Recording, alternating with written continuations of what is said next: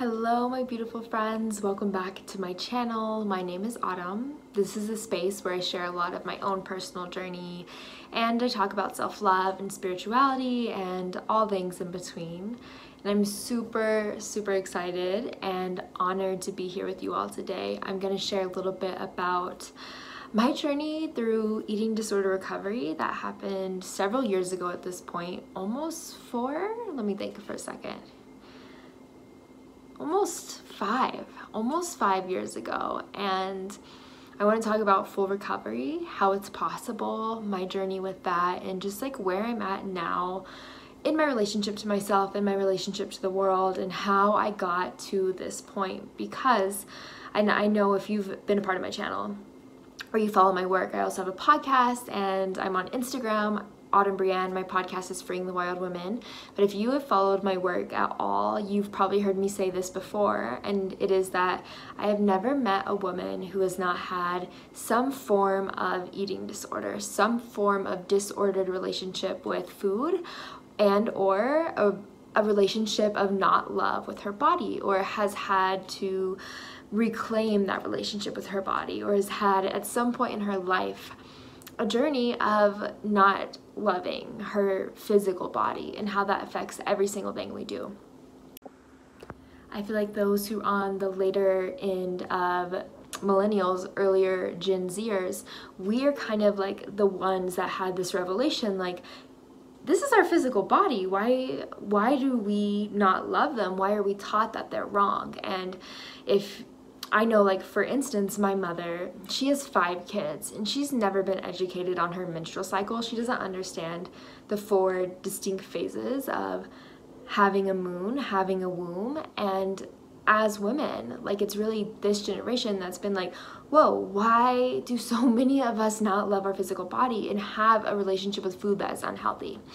And this is really what started all the work I do now with women. And I work mainly in the realm of spirituality, but always coming back to body image because so much of it stems from our relationship to our body. And of course, right, this is our vessel. Every single thing we experience on planet Earth happens within our body. We feel it, we taste it, we touch it, we smell it. Our senses allow us to perceive this reality allow our consciousness to experience this reality and it is our reality. This body is the basis of our human experience and human reality.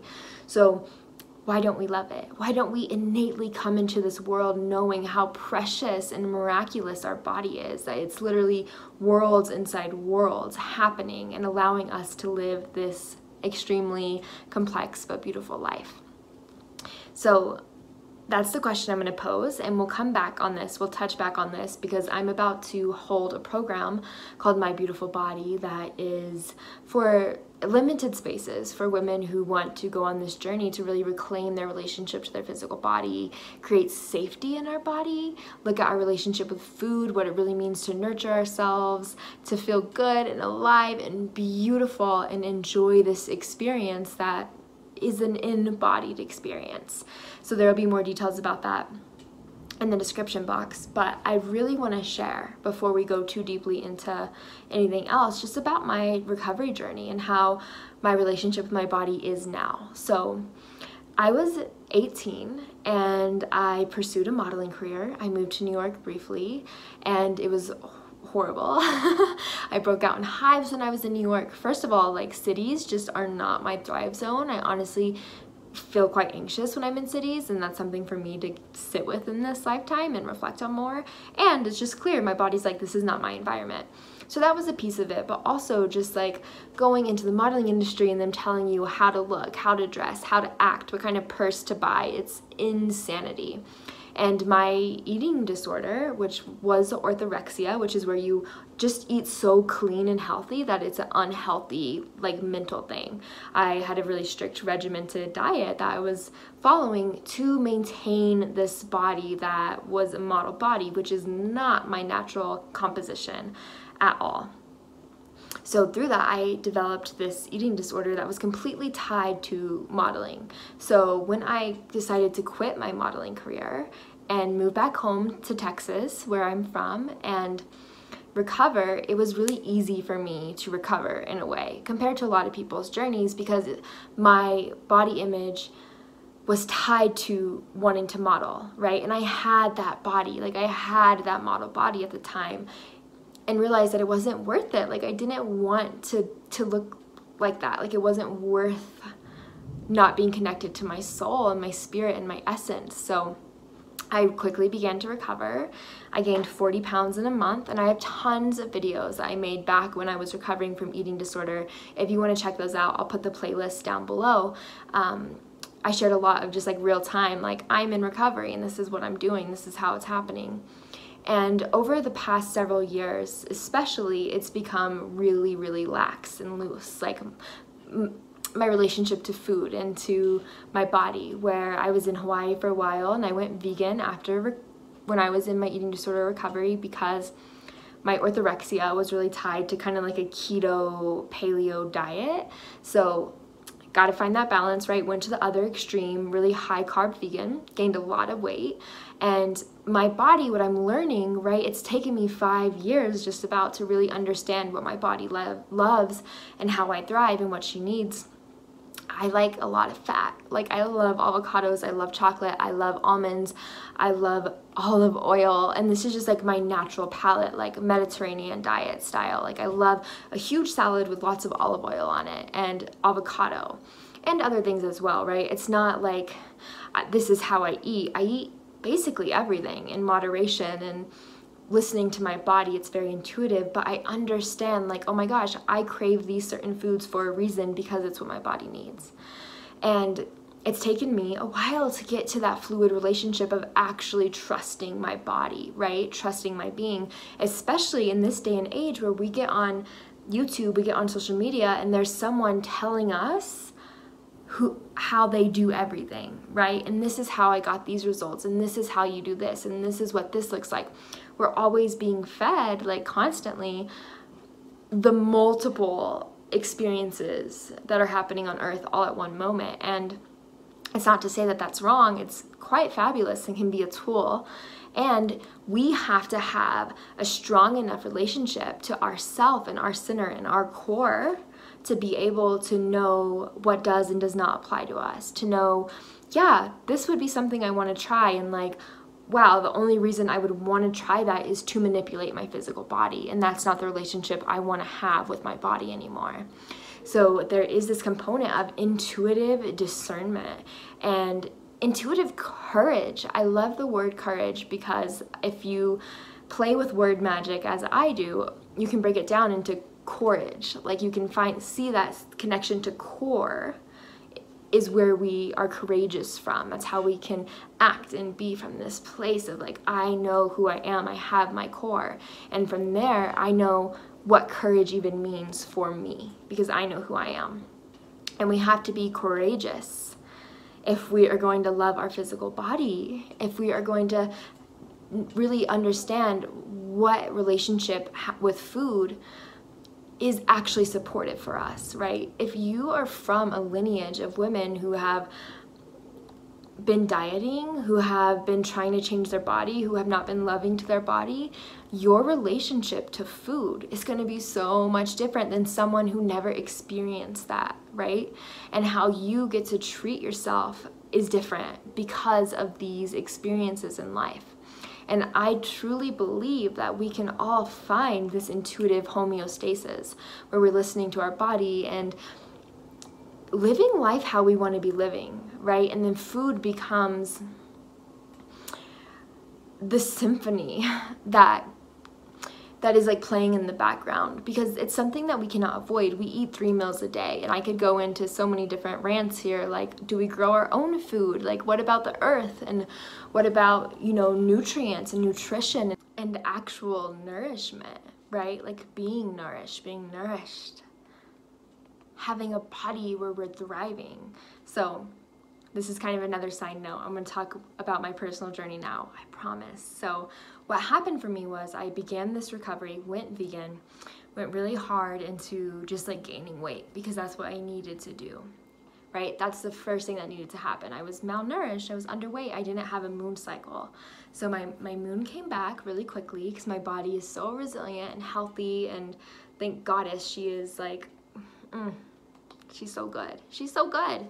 And I got my moon cycle, was vegan for a while, not like I, I slowly began to eat less healthy, if you will, and allow myself to just eat more of what I wanted, like having cakes and treats and things like this. I was afraid for a long time because for no logical even reason just because I had convinced myself that there was a right way to be and if I wasn't that way I wouldn't be deserving of love, right? My body would be different I wouldn't be lovable. I wouldn't be worthy. Something bad would happen. It just became like a trigger for anxiety. And this is a huge part of a lot of people's eating disorder journeys is like we convince ourselves that there's a right way to do something and if we don't do it, we are going to lose love.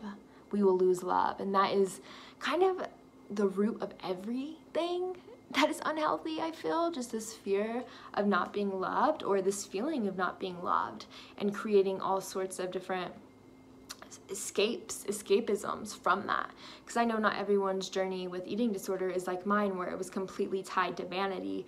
Most of the time, it's not. Most of the time, it's emotional. Honestly, it's about self love, it's about worth, it's about wanting to be accepted, it's about wanting to fit in, right? It's about I need something to control in my life because life is hard. And that's why recovery is so complex. And eating disorder to me is just a symptom of a greater thing happening in our hearts and we need to address it so holistically because I had gained back the weight. But then it was this whole mental thing about letting myself lose control, right?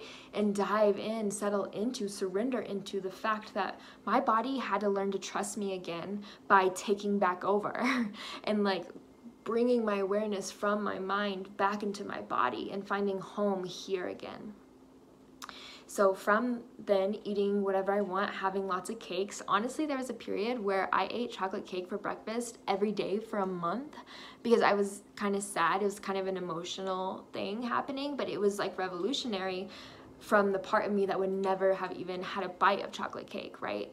So there was this complete surrender into like life just cracked me open inside out and my eating disorder could not anymore because I knew there was so much more happening in life and that my heart belonged to so many other things than just like my relationship to food and how I physically looked.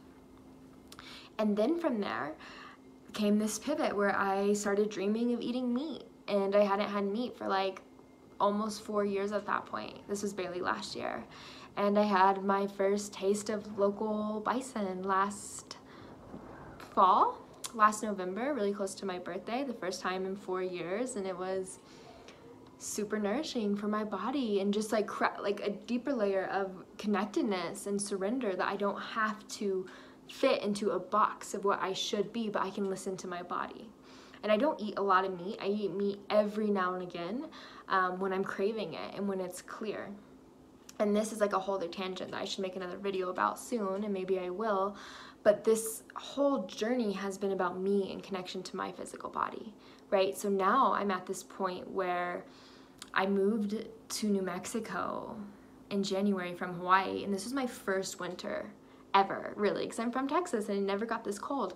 I was in snow, I was in coldness, and my body put on weight. Oh, a hummingbird outside my body put on weight to protect me, to make me feel safe, to like, oh, give me layers of fat so I could live properly and function. And that was different for me because I had been the heaviest weight I had ever been in. And it invited me into this deeper, like, understanding how smart, like how intelligent our bodies are, and then to see how quickly my body shed this weight when spring came into summer and it all happened naturally without my control, without me even doing anything, right? Just listening and allowing my body to have her rhythms, allowing my body to have her cycles. And this is the most natural thing we could possibly do. Yet, our society has made it where this is kind of like a radical way of existing, where we're not binging or restricting or counting calories or following a specific diet or like locked into a box, but actually letting our body tell us what's up. And especially being a woman, being someone who has a menstrual cycle, being someone whose body wants to follow the seasons, this is going to probably look different for each of us because we are different. It will look different for each of us. So even if we're following like a holistic earth-based diet where we're like, you know, eating seasonal foods and things like this, it's going to look slightly different for each of us because our body is always communicating to us because our we've lived different experiences because our parents have lived different experiences and each of those things has brought us to this moment and that is going to tell us how and what and who to be what to eat how we can relate to each moment right so what i'm asking of each of you is this radical ownership and this radical love of self where we actually trust and believe our body and have that deep relationship where we're like, oh, this is what you need, I can give you that. Oh, this is what you need, I will give you that. Oh, this is what you're asking of me, I hear you, I'll be with this. And maybe it's uncomfortable, and maybe it's hard, and maybe it asks something of us that we have never done before. And can, can we listen? Yes, we can. Will we is the question. Will we trust ourselves? Will we have the courage to do so? And if you are on this journey of recovering, of building a trusting, loving relationship with your body, I really, really encourage you to do my program, My Beautiful Body. It's a five week journey where we are rewriting the relationship, the story, the narrative to our physical body and to our relationship with food. We are going to be creating this container within our vessel where we understand what our body's needs are and how we can trust her. And really diving into beauty like, oh my God, our body is doing so much for us all the time. Do we even recognize it? And what would it feel like to allow ourselves to be witnessed and seen for our beauty? So, this journey is gonna be super in depth. We meet four weeks out of the five weeks. We meet two weeks, we'll take a week off and then meet two more weeks. And then within that, you have guided meditations and journaling prompts and weekly assignments to hold you accountable. But our two hour calls are basically going to consist of like a lecture that I will give, some embodiment and movement, breathing, and sharing. So we're going to dive into different concepts and ideas and practice what that is like in our body and really anchor in different realities, different mindsets into our physical body and change the way we feel. Not just the way we think about ourselves, but the way we actually feel about ourselves and get used to holding different frequencies in our body. And then from there, we have daily this daily assignment we're going to be playing with that's really going to open up clear communication from our body and our intuition to our heart so we're like hearing and feeling ourselves truthfully so this is a journey for the women ready to be themselves, like ready to anchor in confidence. No more comparison. That's something we're going to touch on. No more thinking that anything or anyone outside of us knows more, but creating the space to come home fully. And if you're called to this program, there's a link in the description box and in the comment section where you can go to my website and check it out, fill out the application, and I'll get back to you really soon. I only have limited space because I'm receiving I'm sending out to the women who join flower essences and body oils that I made and I only made so much. So it's going to be a beautiful intimate container where we're diving into this self-love, relationship to our body and our inherent worth. And I cannot wait to do this with you. So if you have any questions, you can let me know down in the comments. If you want to see more content, if you have any like specific questions about eating disorder recovery or my journey, please let me know and I'll make a video for you all really soon. Thank you for being here with me. I love you so much and I'll see you really soon.